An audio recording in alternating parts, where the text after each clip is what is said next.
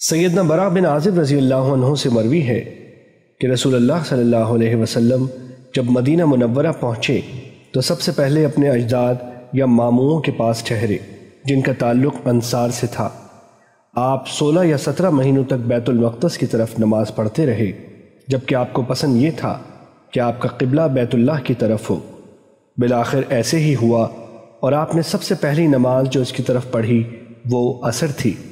कुछ लोगों ने भी आपके साथ नमाज़ पढ़ी थी।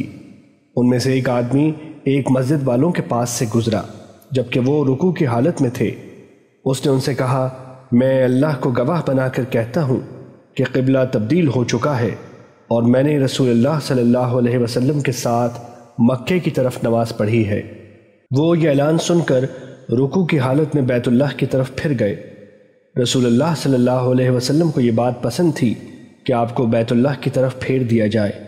लेकिन जब आप बैतुलमक़दस की तरफ़ नमाज़ पढ़ते तो यहूदियों और अहल किताब को यह अच्छा लगता था, क्योंकि इसको वो अपनी इख्तदा समझते थे। इसलिए जब आपने अपना रुख बैतुल्लाह की तरफ़ फेर लिया तो उन्होंने इसे बुरा जाना। हदीस नंबर चौदह सौ उनचास मुस्ंद अहमद।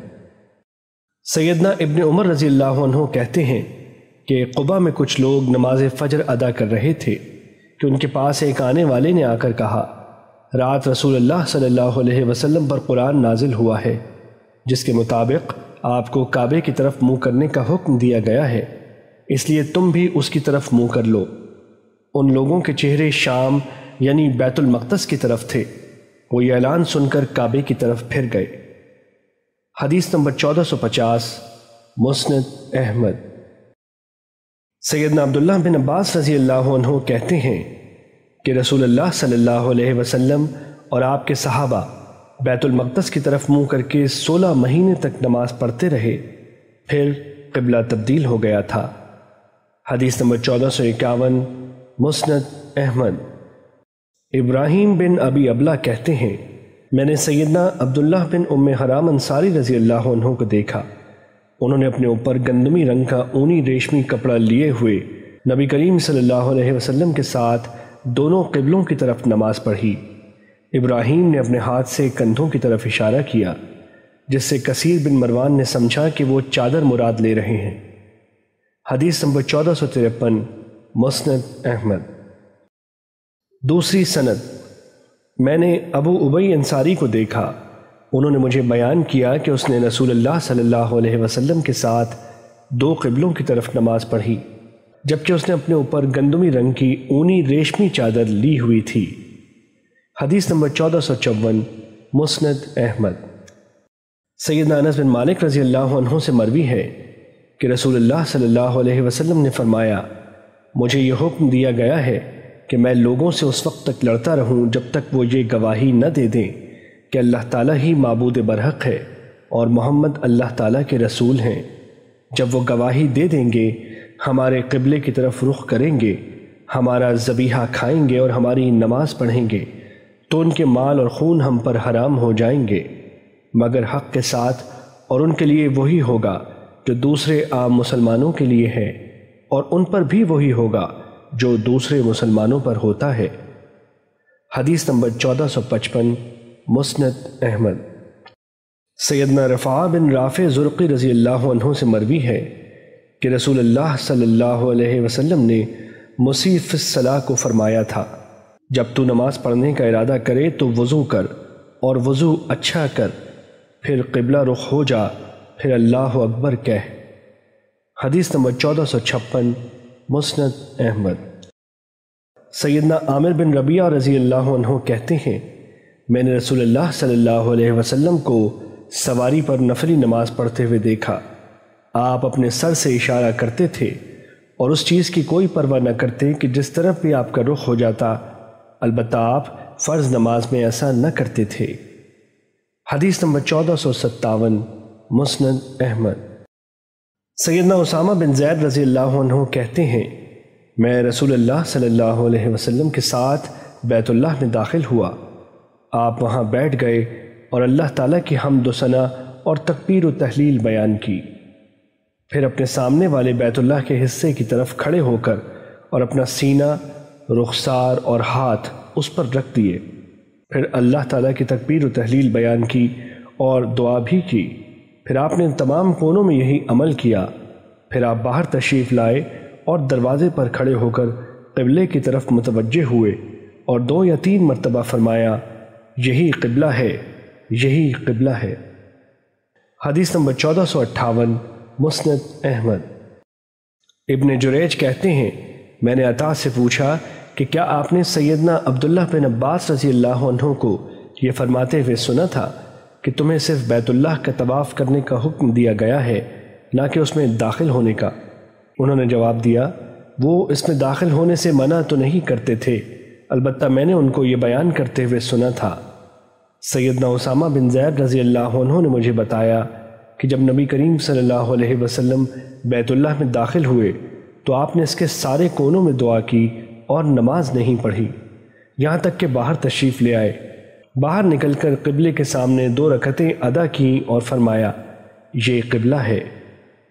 हदीस नंबर चौदह सौ उनसठ, मुस्नद अहमद। अमर बिन दीनार से मरवी है कि सैदना अब्दुल्ला बिन उमर रज़ी अल्लाह ने सैदना बिलाल रज़ी अल्लाह से बयान किया कि रसूल सल्लल्लाहु अलैहि वसल्लम ने बैतुल्लाह में नमाज़ पढ़ी थी।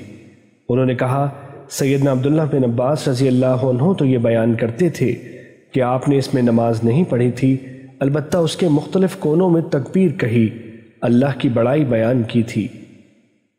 हदीस नंबर चौदह सौ साठ, मुस्नद अहमद। सैदना इबन उमर रज़ी अल्लाह से मरवी है कि उन्होंने बिलाल रज़ी अल्लाह से पूछा, क्या रसूल अल्लाह सल्लल्लाहु अलैहि ने काबे में नमाज़ पढ़ी थी? तो उन्होंने जवाब दिया हाँ दो सतूनों के दरमियान दो रकतें पढ़ी थीं। हदीस नंबर चौदह सौ इकसठ, मुस्नद अहमद। सैदना उस्मान बिन तलहा रज़ी अल्लाह से मरवी है कि नबी करीम सल्लल्लाहु अलैहि वसल्लम बैतुल्लाह में दाखिल हुए और उन दो सतूनों के दरमियान नमाज़ पढ़ी, जो तेरे दाखिल होते वक्त तेरे सामने पढ़ते हैं। हदीस नंबर चौदह सौ बासठ, मुस्नद अहमद। सैदना नानस बिन मालिक रज़ी अल्लाह से मरवी है कि रसूल सल्लल्लाहु अलैहि वसल्लम अपनी ऊँटनी पर किबले के अलावा दूसरी तरफ़ रुख करके नफली नमाज़ पढ़ लिया करते थे। हदीस नंबर चौदह सौ तिरसठ, मुस्नद अहमद। सैदना अनस रज़ी अल्लाह से मरवी है कि रसूल अल्लाह सल्लल्लाहु अलैहि वसल्लम जब अपनी सवारी पर नफिल नमाज़ पढ़ने का इरादा करते तो एक दफ़ा किबला रुख होकर नमाज़ के लिए अल्लाह अकबर कहते, फिर अपनी सवारी को छोड़ देते और आप नमाज़ जारी रखते, सवारी जिस तरफ़ मर्ज़ी रुख कर लेती। हदीस नंबर चौदह सौ चौंसठ, मुसनद अहमद। सैदना अबू सईद खुदरी और सैदना अब्दुल्ला बिन उमर रज़ी अल्लाह से मरवी है कि नबी करीम सल्लल्लाहु अलैहि वसल्लम अपनी सवारी पर नफली नमाज़ पढ़ लेते थे। वो जिस तरफ़ मर्ज़ी रुख कर लेती थी, आप रुकू सजूद के लिए इशारा करते थे और रुकू की मनस्बत सजदे के लिए ज़्यादा झुक जाते थे। हदीस नंबर चौदह सौ पैंसठ, मुस्नद अहमद। सैदना जाविर बिन अब्दुल्ला रज़ी अल्लाह ने नबी करीम सल्लल्लाहु अलैहि वसल्लम से इसी तरह की हदीस बयान की है। हदीस नंबर चौदह सौ छियासठ, मुस्नद अहमद। सैदना अब्दुल्ला बिन उमर रज़ी अल्लाह कहते हैं कि रसूलुल्लाह सल्लल्लाहु अलैहि वसल्लम मक्के से मदीने की तरफ़ आते हुए अपनी सवारी पर नमाज़ पढ़ते थे। सवारी जिधर मर्ज़ी रुख कर लेती थी। ये आयत इसी मसले के बारे में नाजिल हुई। तुम जिस तरफ़ भी मुँह करो, अल्लाह का चेहरा वहाँ ही है। हदीस नंबर चौदह सौ सड़सठ, मुस्नद अहमद।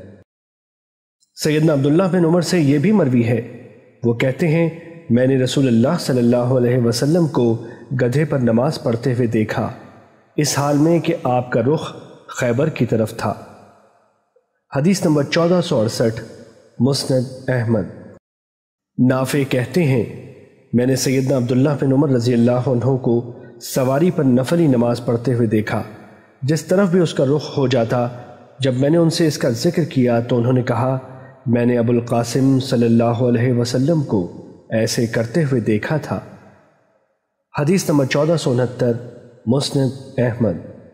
Anas bin Sirin कहते हैं, जब सैदना अनस बिन मालिक रज़ी अल्लाह शाम से आए तो हम उन्हें एन तिमर मकाम पर मिले। हमने देखा कि वो अपनी सवारी पर गैर किबले की तरफ़ नमाज़ पढ़ रहे थे। बस हमने उनसे कहा, आप गैर कबले की तरफ़ नमाज़ पढ़ते हैं? उन्होंने जवाब दिया, अगर मैंने रसूल अल्लाह सल्लल्लाहु अलैहि वसल्लम को ऐसे करते हुए न देखा होता तो मैं भी ऐसे न करता। हदीस नंबर चौदह सौ सत्तर, मुस्नद अहमद। सैदना आमिर बिन रबिया रज़ी अल्लाह से मरवी है कि मैंने रसूल अल्लाह सल्लल्लाहु अलैहि वसल्लम को सवारी की पीठ पर हर जहद की तरफ़ नमाज़ पढ़ते हुए देखा था। हदीस नंबर चौदह सौ इकहत्तर, मुस्नद अहमद।